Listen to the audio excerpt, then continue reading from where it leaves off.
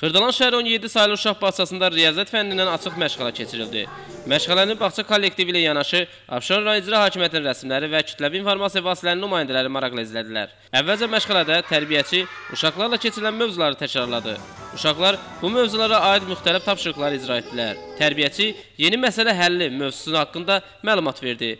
Videoçaq vasitəsilə cizgi filmin nümayiş olundu və uşaqlar ekranda nümayiş olunan müxtəlif məsələləri həll etməyə çalışdılar. Böyük qrupun rus bölməsinin uşaqları müxtəlif rəqəmlərin vurma, çıxma, bölmə əməliyyatlarını yerinə yetirdilər. Verilmiş tapşırıqlar uşaqlar tərəfindən tez və dəqiq yerinə yetirildi.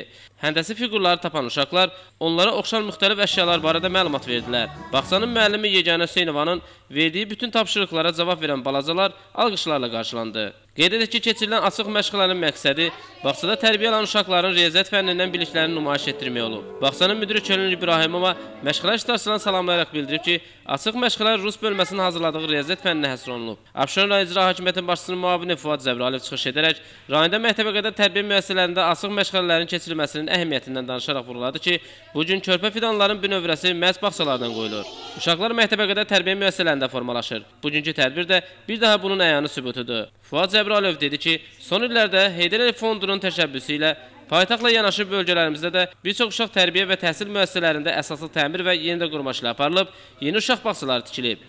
Belə layihələrin icrasında əsas məqsəd məktəbəqədər təhsildə əvvəl mövcud olan çatışmazlıqların aradan qaldırılması idi və buna da nail olunur. Məktəbəqədər təhsil müəssisələrinin inkişafı proqramı Abşeron rayonunda da uğurla həyata keçirilir.